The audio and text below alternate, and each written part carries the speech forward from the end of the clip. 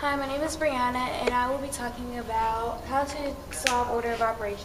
So one technique that I usually use is the PEMDAS, which is known as like, please excuse my dear Aunt Sally, but it basically means parentheses, exponents, multiplication, division, addition, and subtraction.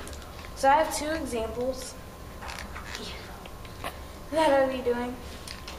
And so we will start off with the parentheses, so 4 plus 5, which gives you 9.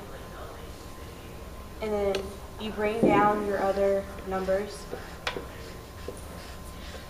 So we don't have any exponents, so we do have multiplication. So 3 times 9 is 27. Bring down that.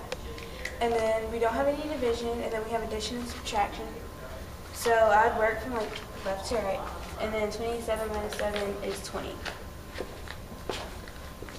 So that would be your answer. So the second example is, we'll start off with the parentheses. So 5 plus 6 equals 11. Bring down your other numbers.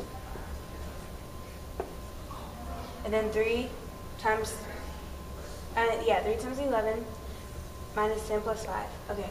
So then we would do multiplication. So that would be 33 minus 10 plus 5. So now we would do 33 minus 10, and that would give you 20, yeah, 24, 23. Um, hold on, okay, I'm thinking. Yeah, I was right, okay, 23. Why don't you write it out? Uh, well, I've already done it in my head. So 23, and then plus 5, which should give you 28. Okay, 28. Thank you, and that was how to solve order of operations.